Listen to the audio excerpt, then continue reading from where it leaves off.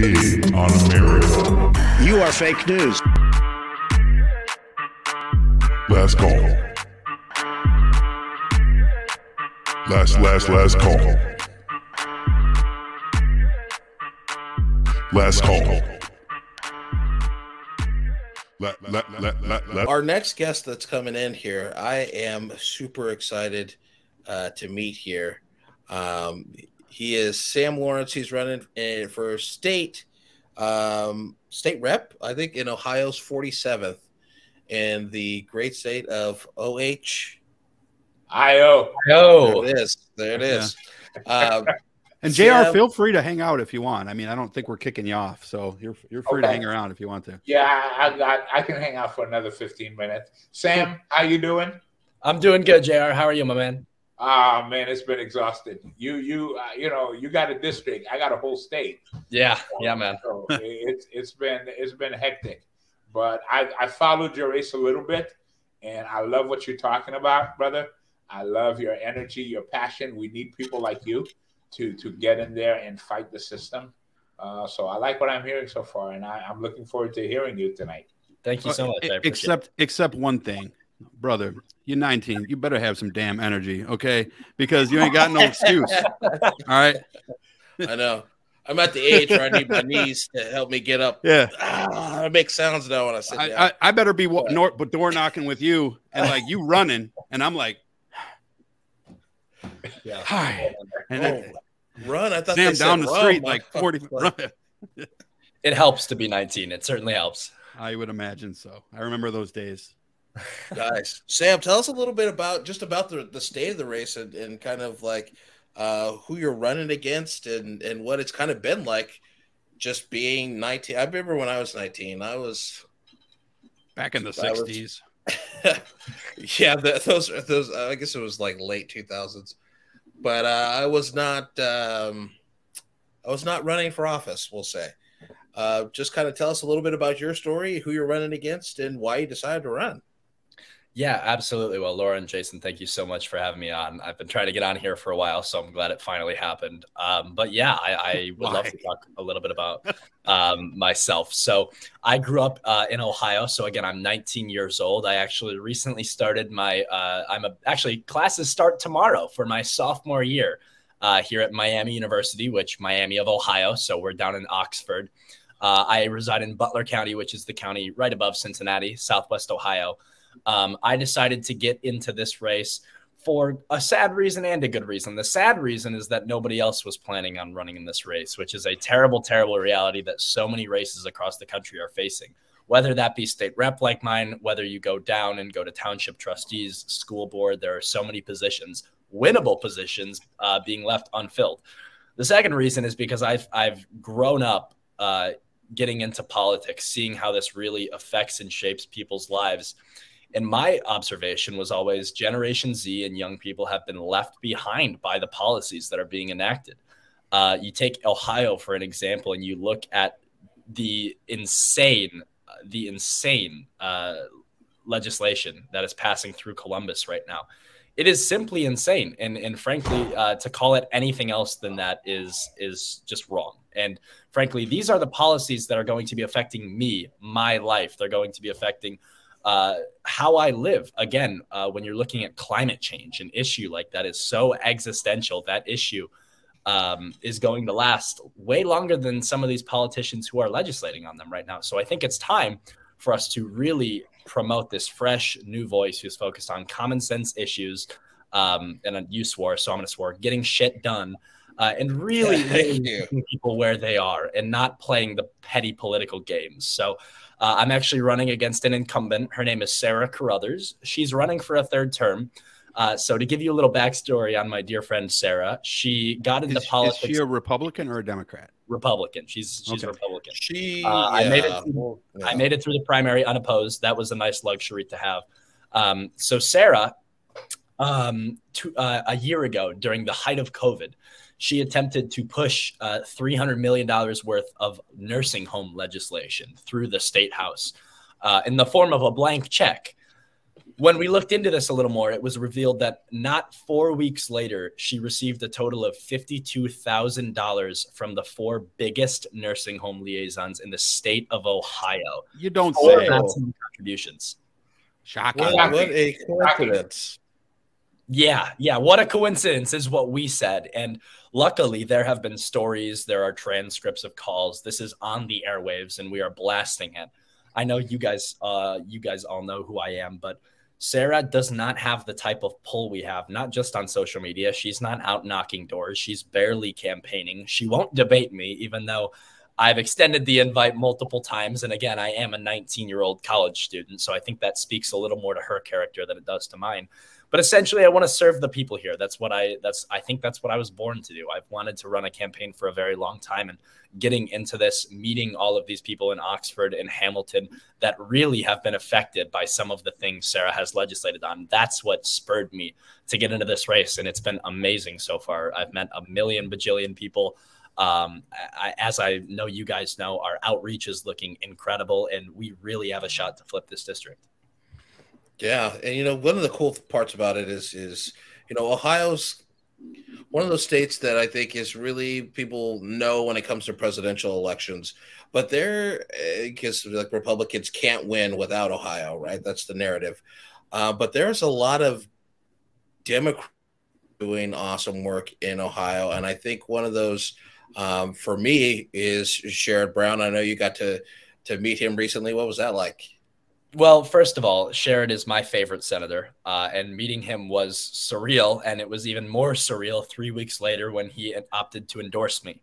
Um, so we have Senator Brown's support, which again, I grew up idolizing this man. I I absolutely adore him, and so for him to be supporting us is is just uh, it, it's beyond words for me to describe. But I think that goes to show there are Democrats in Ohio doing the work, getting on the ground. I recently went to Columbus for a, for a retreat for all of the Democratic nominees that won their primaries for state house and talking to all of these candidates. Some of them were first time candidates, some of them were incumbents who had been in office for years.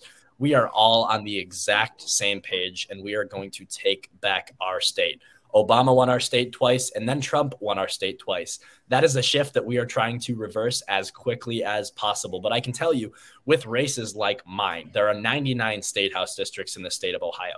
If each of us in our state house districts work to push the vote, to move the needle, then I can tell you that folks like Tim Ryan, folks like Nan Whaley, they're going to win their races because of the work we're doing. Yeah, absolutely. I think people people always forget about these down ballot races, and really because you're running these big senate senate campaigns that across the whole state, you don't really have the the, the chance to get in there and have the FaceTime with every voter in a district, right? Um, and so that's why it's really important for those local guys, those down ballot folks, to really uplift uh, other candidates in the Democratic Party and in the Democratic branding. And one of the things I think is is really kind of cool about you, Sam, is that you are unafraid to call people out on their shit. Um, and this is what I, I get all the time about like, oh, we can't we can't stoop to their level and we can't you know name call and this and that. And I'm just like, you know what? If a person's corrupt, they're corrupt that's I don't know how any other way to to to call it. And I think that is one of the things that I, I have have loved watching you do. Help People out on their shit, and uh, yeah, I I I want you to do that on. I can't wait to watch a video of you doing it on that on the house floor um because i'm gonna be like i know that guy and not well, and, and not yeah. only and not only republicans right but you're going to get it from the left. Like JR will tell you, he's getting crap from his own party, right? Like, so I absolutely am. And I'm shaking my head, Sam, keep doing it. Yeah. Uh, one of the things I have been saying in my race over here is Democrats are not immune to criticism, especially if it's factual and accurate. You do not get a pass because you're Democrat. You do not get a pass because of the color of your skin or your gender. It makes absolutely no sense it, you know, my race has has been called a dumpster fire, a shit show, and everything because I have called them out on their crap. Okay, yeah. keep doing called, it, Sam. I have Absolutely. called them out. I've been called a Nazi a fascist, a slave, and everything else under the sun. You all in one afternoon. Yeah. So no, he, he's serious. Yeah. It's all happened in in one time. So yeah. it, it's it's nonsense. You hear the saying of people saying vote blue no matter who. Well, screw that. You can't just vote any blue. You have to find the best blue to vote. Okay. Yeah. So keep doing what you're doing. Keep calling them out. And I'm looking forward, man. Uh, you know, I, I'm excited for people like you, people like Maxwell Frost, who's running down in Florida. You know, Maxwell and I were at an event together. We've spoken on the phone many times, but we got a chance to meet. Yeah. Just seeing that energy from this next generation, yeah. it is so heartwarming to me. And it's like, hey, we got we got a shot at this thing, you know. All hope is not lost. So so congratulations on the hard work you're doing. Proud of you. Uh, and don't take anybody's shit. Okay. Yeah. because sometimes within your own party, they will try to screw you over. They will lie to you. Don't trust anyone. Make them earn that trust. And I think that's what's so important about this campaign we're running is I, am assuming none of us are huge Liz Cheney fans, but what I can praise Liz Cheney for is that when it mattered most, she chose country over party. And that's what we have to do uh, on the left as well. If we disagree with our own party about something, like my good friend Tim Ryan does all the time, he stays true to himself, he fights for his values, and that's what I intend to do. Uh, back to your point, Lourin, about calling out the bullshit. Um, yeah, frankly, my opponent has a lot of it. She's had two scandals in two terms. She is saying things and sponsoring bills left and right that are not popular amongst the general population. So there is a difference between straight up name calling for no reason. But then you have to take uh, into consideration we need to educate people about what is going on. If she took a $52,000 bribe in broad daylight, we need to be blasting that over the airwaves. We can't hold yeah. back. So yeah. we have to be nice and we can't stoop to their level to an extent. We also do have to, like you said, call them out. If she took a fifty-two thousand dollar bribe, yeah, I'm sorry, I didn't mean to start, but I just want to say quick. If she took a fifty-two thousand dollar bribe in broad daylight, imagine how many she's taken in the behind closet behind closed doors. Yeah. Absolutely, and that is the entire point of our campaign, which is that I want to work for the people, not for myself. She has used her elected office as a, a tool for her own self worth and for her own self interest. That is all she is worried about. And it's unfortunate. You, it really is. I got, I got a question for you, Sam. Have you looked at her net worth from when she started to what it is now? How much it has grown? I haven't. I have not looked at the chains. I, uh, the change between. Uh, I know she is a millionaire. She owns three houses, uh, two here in the district. Um, and I actually was canvassing in her neighborhood the other day and decided to wave and see if she was looking out her window. But uh, yeah, I have not looked at the change in her net worth. Although, as I think I mentioned earlier, she signs her bills Sara P. Carruthers. So when she signs it with her middle name, can anybody guess what that P stands for? Oh, it, st- it, stands for Proctor, Sara Proctor Carruthers, as in Procter and Gamble.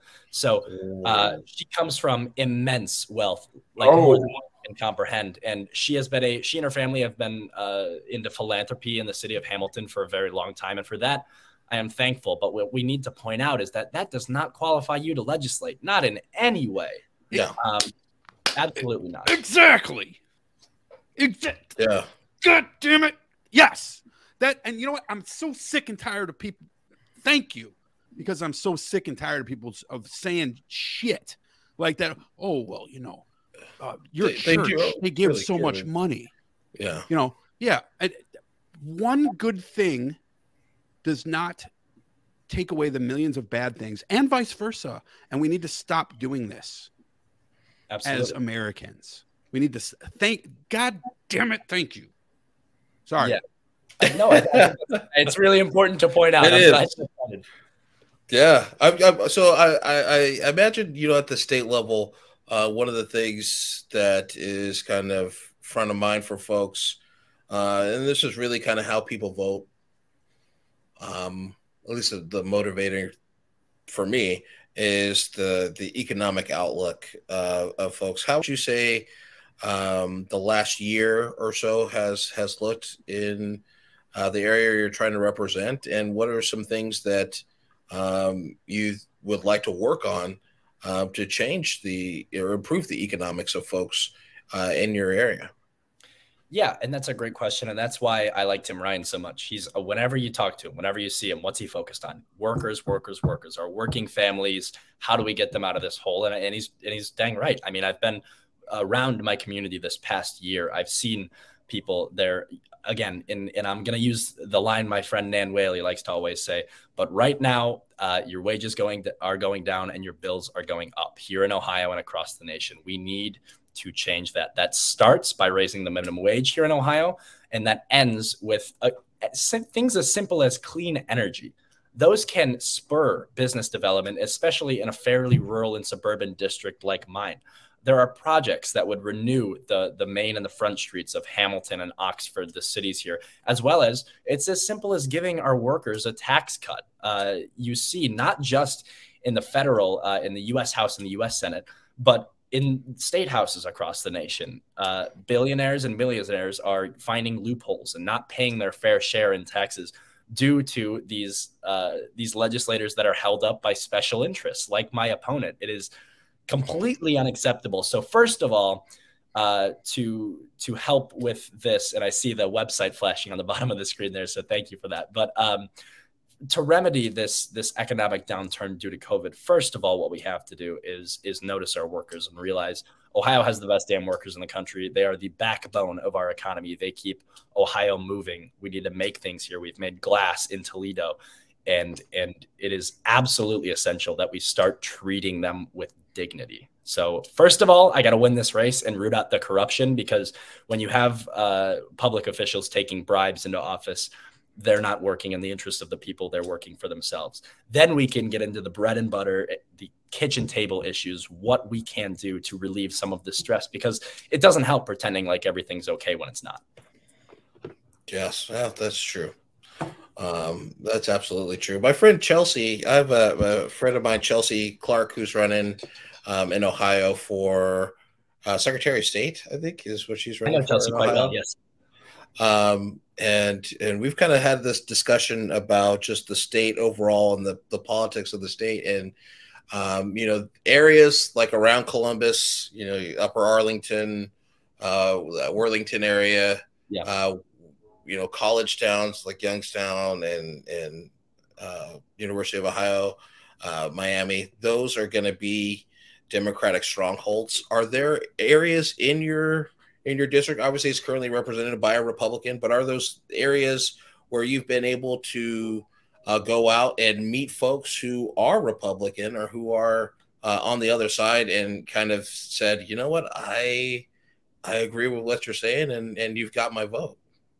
Absolutely. That's one of the things I'm most proud of about my campaign is we're reaching out to Democrats, Republicans, and independents. There is a surprising to I think anyone amount of common sense Republicans that my campaign has talked to. We've knocked on their doors. We've reached them where they are, which is something that campaigns in the past year haven't done. And again, the, the town of Oxford, where Miami University is, is a nice blue dot. I've got a few townships which are very red, and then I've got the city of Hamilton. Hamilton is the 10th biggest city in Ohio. It's huge. Um, but the problem is, people haven't gotten out there before. There hasn't been an organized campaign running in Hamilton. What we're also doing is going out to these townships and strategically extracting the votes that we can get. I talked to a man yesterday. He was sitting on his porch. He voted for Donald Trump. And at the end of the conversation, he had assured me that I would have his vote. I mean, these are things, if we get out to these people where they are, talk, talk to them about the issues that matter to them instead of, like my opponent, just pretty much thinking you can walk into office without even having to campaign, that makes people notice. There are small towns all across my district Scipio, Bunker Hill, Millville, College Corner. These are all tiny little communities. They've never had a Democrat a or a Republican politician knock on their door. It's insane. And so, uh, again, that is all, uh, that is what we are about. We are getting into those areas that may have been kind of forgotten in the past, whether it's by our politics or by our candidates, reaching out to them, getting them registered if they're not. Um, but yeah, I'm very proud of the Republican support we've gained, and that's another reason why I think we're going to win this race. I think uh, the common sense Republicans are done with Sara's corruption. Question. Well, uh, I have to. I'm being pulled into another meeting. It was great. I have to jump off. All right, Sam. Uh, good luck, my friend. Okay. Great meeting, Jr. You as well. yeah, we'll we'll stay in touch, sir. Yes, stay in touch. Y'all have a great night. Good night. Later. I have a question for you, Sam, related to what you just said, please. Absolutely. Um, so it sounds to me like there's some miles going on the car with this campaign. How are you funding it? Yeah, so I love talking about this. So uh, if you look at my, uh, if you look at our average donation, our average contribution is thirty-eight dollars uh, for a state representative campaign.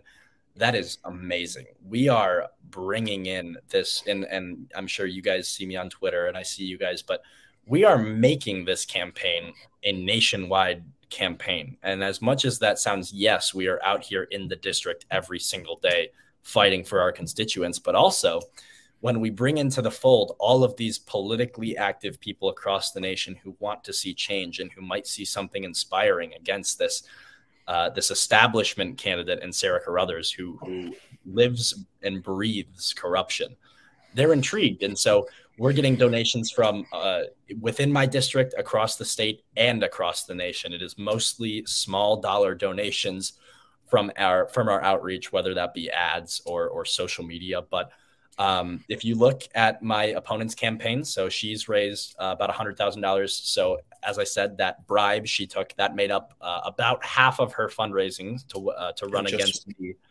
and then the other the other half is made up of donations that are mostly over a thousand dollars uh, from the Butler County GOP's big donor base that they have. And again, this is a reason why nobody wants to run for these races because they think they're predetermined. Right. That is absolutely wrong. And I'm so excited to prove everybody wrong here. I really am. Good, good, good for you.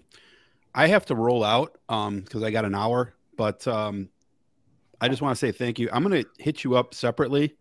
Um I want to work on some stuff with you.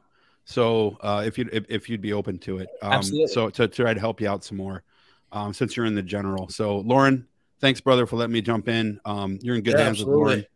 I will see you guys later, and Sam, good luck, brother. Talk to you, Jason. Thank you. Nice. So Sam, I have a, a like a really pragmatic question uh, yeah. because you know you're.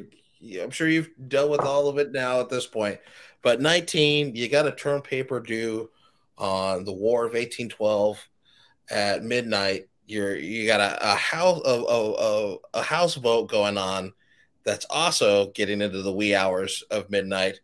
Um, how how are you going to make these two kind of worlds fit together?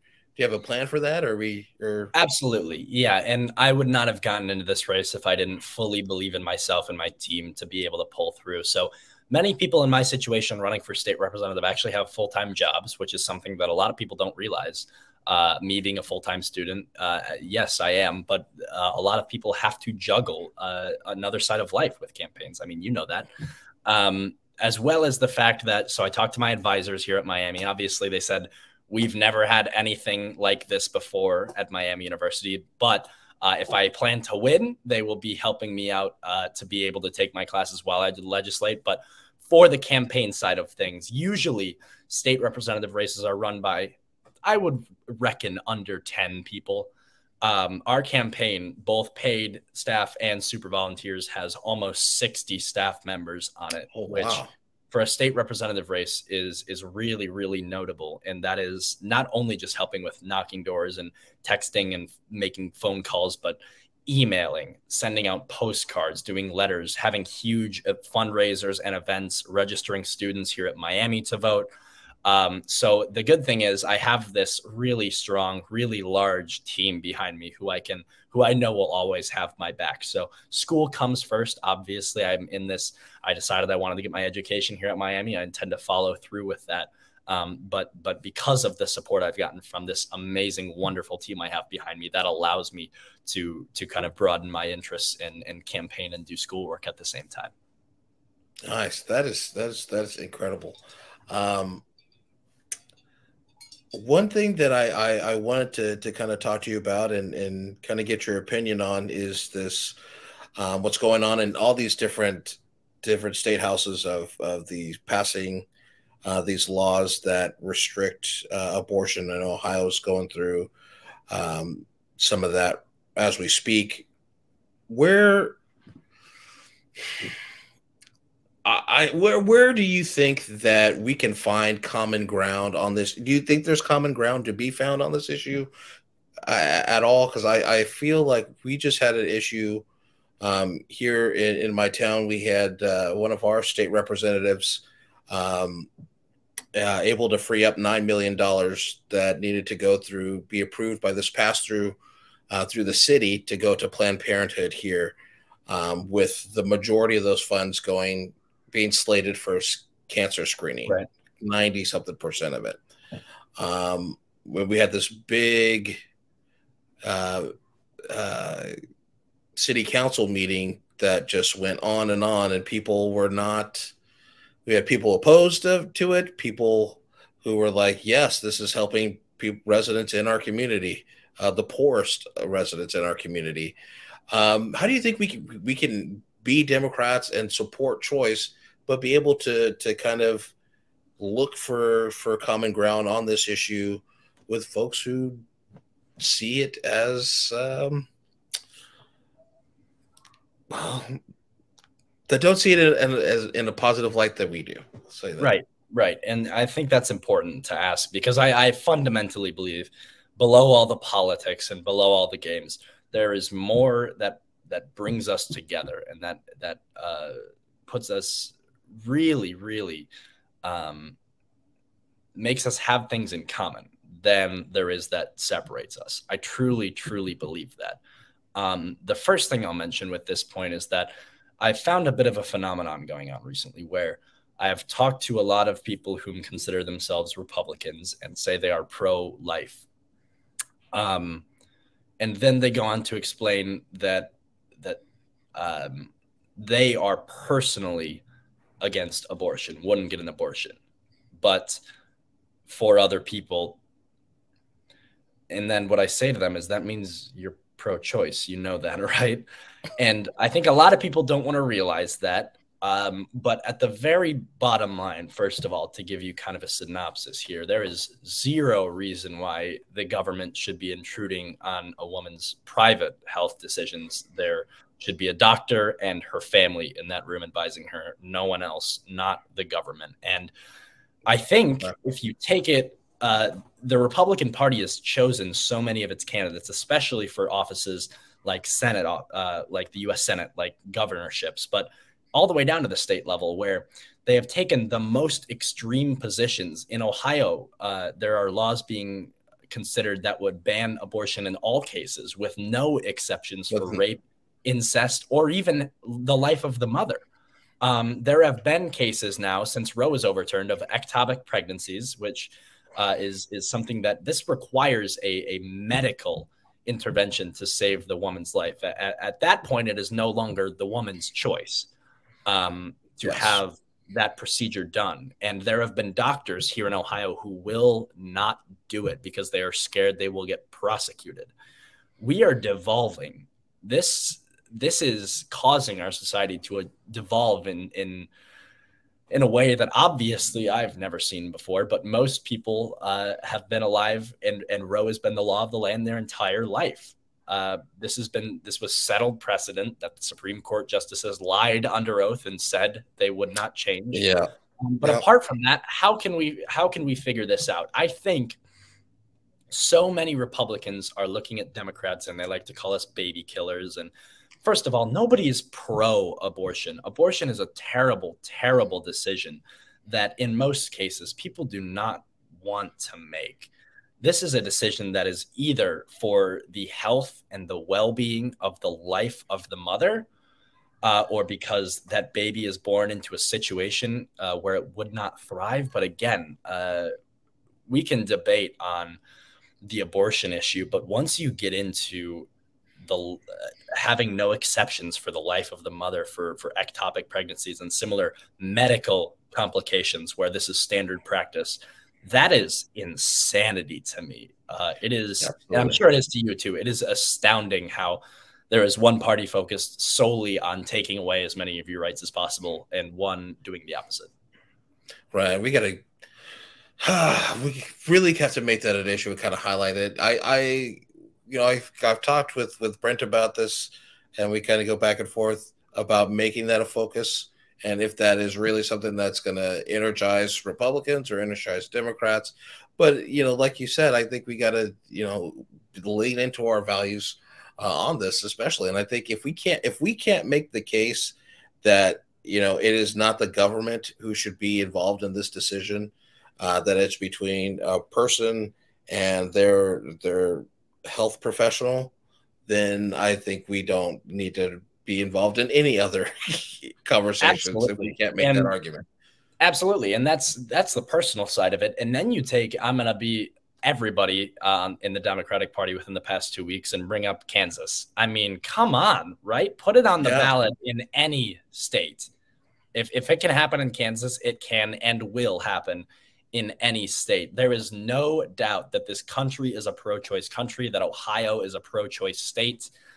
And then you have people that keep making the argument. You say, well, you know, you can't have it at the federal level, leave it up to the states. Well, you like, can't leave it up to the states. Let's do county. Well, you can't leave it up to the county level. So let's do local government and city government. And, and by that time, you're already down to the individual person. Oh, we so, can't. We'll do it to by everyone's house. Well, I guess you can't do it by every, by every room. Yeah, so so it's an individual yeah. choice. You're saying, absolutely. Yeah.